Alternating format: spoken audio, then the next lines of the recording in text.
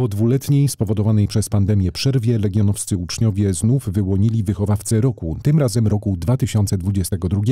Uroczyste rozstrzygnięcie konkursu nastąpiło jak zwykle w sali widowiskowej ratusza. Jak zwykle też przy głośnym aplauzie podopiecznych nominowanych belfrów. No i przy cichej aprobacie sterników miejskiej oświaty, doceniających pożytki płynące z uczniowskiego plebiscytu. Służy podkreśleniu roli, jaką pełni wychowawca w szkole, bo często jest to e, rola niedoceniona. Jest to mnóstwo obowiązków, które nauczyciel e, musi często po godzinach swojej pracy, tych obowiązkowych, zrealizować.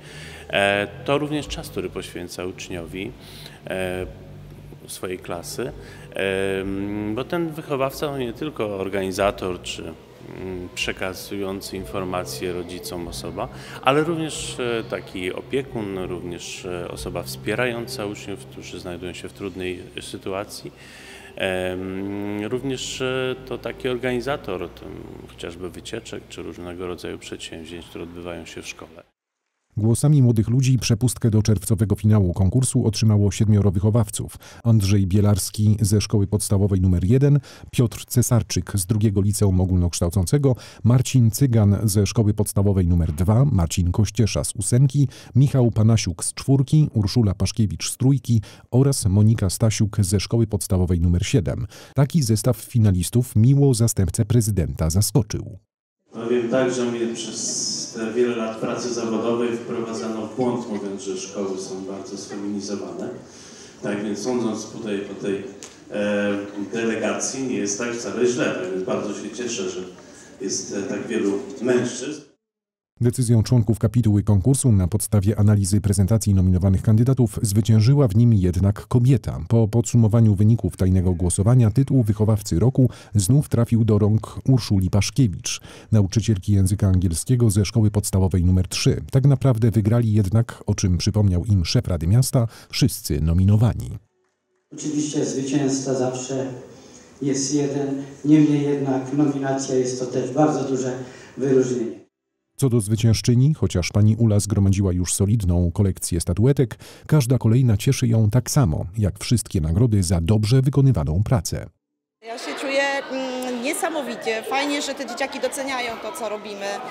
E, tym bardziej, że nie jest to łatwa praca i w czasie pandemii nas podwójnie doświadczała, także też się uczyliśmy na nowo pewnych, pewnych zachowań, a więc fajnie, no fajnie, że dzieciaki to widzą i doceniają i od nich szczególnie jest e, miło dostać taką nagrodę. Myślę, że to jakby tylko potwierdza to, że można swoją pracę wykonywać dobrze i przez wiele lat, e, trzymając się dobrze sprawdzonych chociażby wzorców i rozwiązań, bo kolejne pokolenia uczniów doceniają jej pracę i zaangażowanie.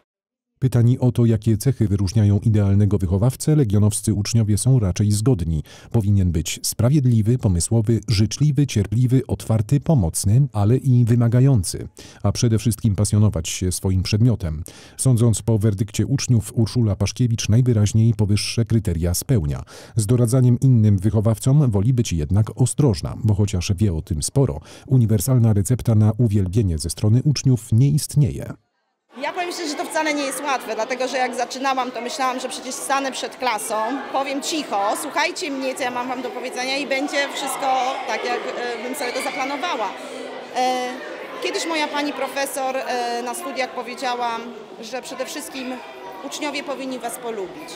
I ja to wzięłam do siebie do serca i mówię, jak mnie polubią, zresztą to mi się sprawdza, jak mnie polubią, zaczynają lubić mój przedmiot, zaczynają inaczej do niego podchodzić, chętniej przychodzą, no i wtedy zaczynamy dopiero budować naszą więź i uczyć się przez kolejne lata, więc mi to się sprawdza.